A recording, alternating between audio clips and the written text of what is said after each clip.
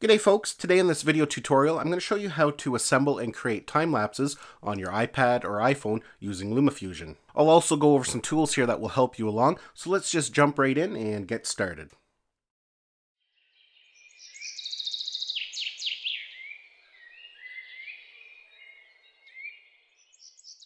So when it comes to creating time lapses on an iPhone or iPad, there's no really easy, simple, uh, streamlined way to do it. I'm sure down the road that is going to come, but right now there are some tools available to us to really help us along. And uh, in today's tutorial, we're going to be using LumaFusion. If you're not sure what LumaFusion is, it's basically it's a nice full-featured editor for your iPad or iPhone. In fact, LumaFusion is all I use nowadays. It's what I edit all my YouTube videos on, my drone videos, my GoPro videos. I'm a 100% mobile editor. That means I edit everything on my iPad. I film everything everything on my iPhone, which is what I'm filming with right now. Unless, of course, I'm filming with a GoPro or a drone. So anyways, let's get started here. But before we get into it, I'm going to go over a few tools here that will help you along. They are not necessary, uh, but uh, you might be interested in them. Now, the first thing here is the Apple Card Reader. This one here is a Lightning port. They also sell it in a USB-C version if you're using the new 2018 iPad Pro. This is just a quick, simple way to get your time-lapse sequences over to your camera roll, which is what you're going to need to do in order to assemble them. If you're filming your time-lapse on a GoPro, you can also connect your GoPro wirelessly and use the GoPro app to transfer all the files over. Alternatively, if you're using the iPad Pro 2018 model with the USB-C port, you can plug your GoPro directly into the USB-C port and it'll prompt you to transfer over the media that way as well. The next thing here is the Apple Pencil. This is the second generation, goes with the new iPad Pro 2018. If you're going to get into mobile editing, I definitely recommend getting an Apple Pencil. It just makes things so much easier and it kind of gives you that kind of fine control similar to a mouse. They work so well that once you start using one, you'll probably find it hard to use an iPad without it. The next items I have here are wireless hard drives. Basically, these are both the exact same kind of hard drive. One has a solid state drive in it, and the other one is just a traditional hard drive. They're both by Western Digital, and this one here is called the My Passport Wireless Pro, and this one is the My Passport Wireless SSD because it has a solid state drive in it. Now, for the most part, they function exactly the same way. There are a few differences, however. Uh, first off is price. This is a one terabyte model, and uh, this is about four to five hundred dollars. I'm not sure of the exact price, so it is quite pricey. Uh, the benefit to it is that it's very durable because it's a solid state drive. This thing is rated to be dropped from one meter, and you won't damage the internal disk. So that's really good for adventure photographers. If you're going to have this out in the field, you never know what's going to happen to it and uh, you know definitely it is a little bit more rugged and the other thing is it is a little bit faster because it is a solid state drive this one here just has a regular internal disk and uh, it is pretty delicate. If you drop this thing chances are you are going to uh, damage the disk inside and you could end up losing a lot of media. If you get the non ssd of these hard drives you can get a model that has much more storage. For example this one here is the 3 terabyte and it's about 169 bucks compared to 4 or 500 for 1 terabyte. You can see it is a much more economical drive. Now the big benefit to having these drives is first off they're wireless. So that means you can connect it to your iPad wirelessly and transfer media back and forth quite easily. They can fully integrate right into LumaFusion so you can pull your files right off this drive nice and easy. You don't have to transfer them first to your camera roll. Now both these drives have a card reader on them and basically what that does is allow you to offload your content out in the field right to the drive. So you can pull a memory card out of your drone or GoPro or camera plug it into the slot there and it will automatically start to transfer your content over and it'll be backed up nice and safe and you can continue filming. The nice thing about that is when you get home and you're ready to edit, all your content's already on a drive, you can plug this directly into a laptop or desktop and then it just functions as a 3.0 drive. The other nice thing about these drives is that they have a built-in battery, so you're able to power this drive without plugging it in.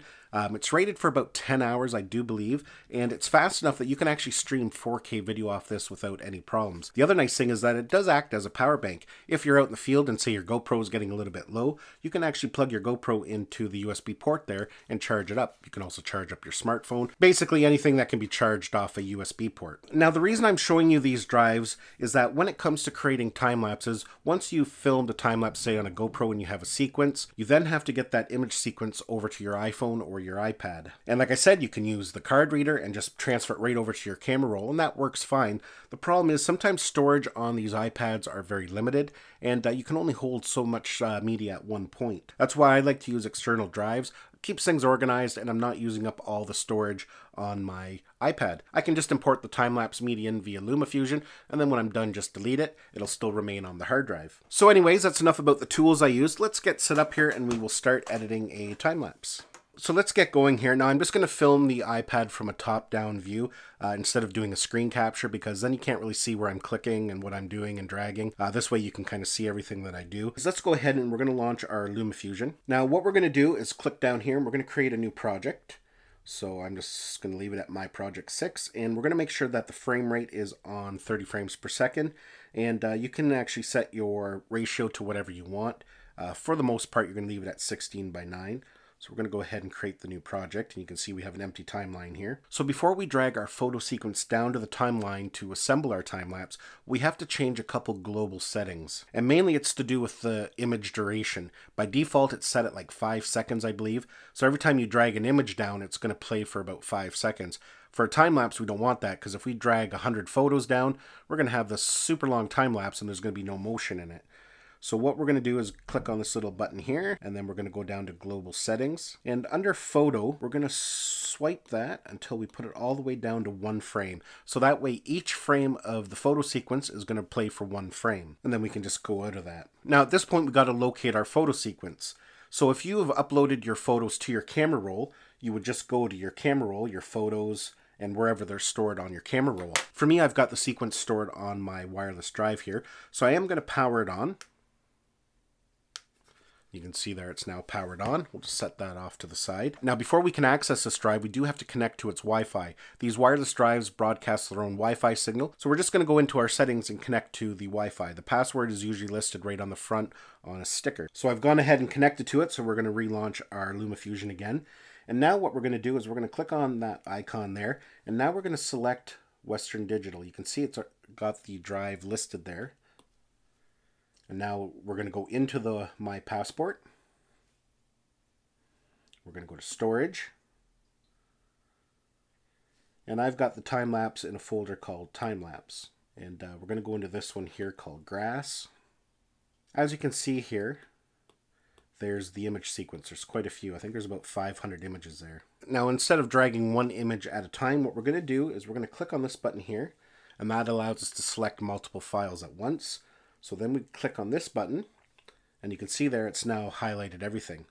Now all we have to do is drag it down as you can see there. Now what it has to do here, you can see this number here, it's got to download all the images from the wireless hard drive to the iPad. It's going to put it in your Files app under uh, imported media, I believe, which we can delete later. Now, if you had dragged them in directly from your camera roll, you would be skipping this part because the files are already stored on the iPad, so you don't have to go through this download procedure. So I'm just going to skip ahead of this part, and once they're all done, then we'll continue. So it's all done importing everything in now. It didn't take too long, about two minutes, so that's not too bad. You can see it created a new folder here called Downloaded Media, and that's where everything that we just downloaded is going to be stored. At this point, we don't need this drive on anymore. We can power it off because everything we need is now stored on the iPad locally. So you can see it's given us a preview here, and uh, we can scrub through and we'll see it. We can hit play maybe a little choppy at this point. It's not going to be as smooth as the final rendered video, but it kind of gives you a preview of what's going on. Now, at this point, we need to render it before we can do any kind of editing to it, because right now it's just a bunch of still images, and uh, we'd have to go through each individual one and copy and paste, which would take a long time. So what we're going to do is render it as a file. We're going to click on Movie there, photos. That way it's saved right to our photos. I'm going to leave mine at 4K, but you could really render it out in whatever resolution you want. What's really important here, we want to save it as the highest quality possible. By default, LumaFusion renders at 50 megabits per second, uh, but we're going to put it right up to ultra, and then we're going to export it. And as you can see there, it doesn't take too long to export because it's only about a 16 second time lapse. So now if I go to my camera roll, you can see here is the time lapse that we just rendered out. You can see there's some movement there because I had it actually on a slider, a little GoPro time lapse slider.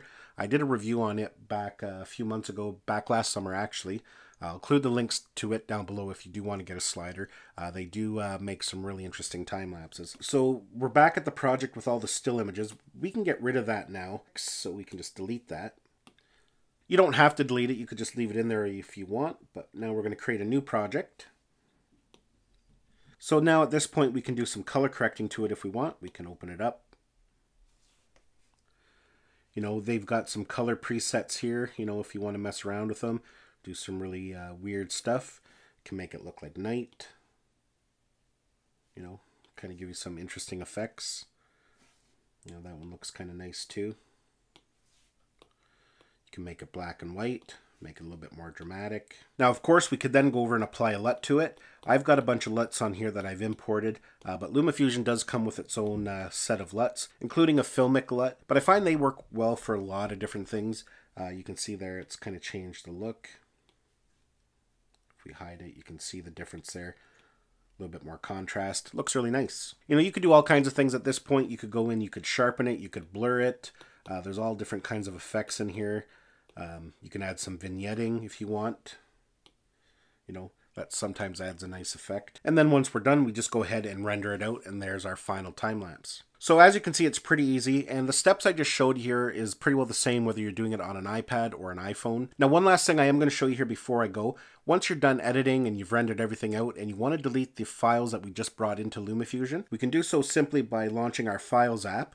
We're going to go into the LumaFusion folder within the Files app. We're going to click on Library Media.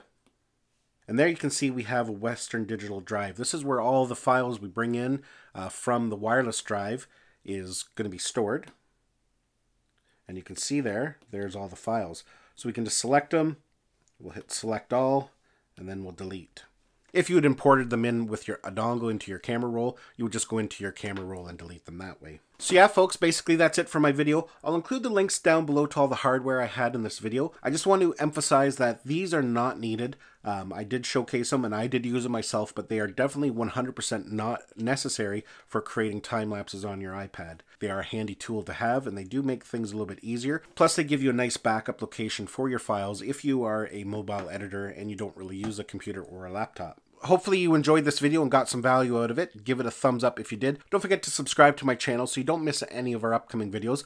I just want to point out that I'm going to be doing some giveaways this summer on Facebook, so make sure you check out my Facebook page. All my giveaways going forward are going to be done via my Facebook page. I'll leave the link for it down below as well. Thanks a lot for watching. We'll see you in the next one.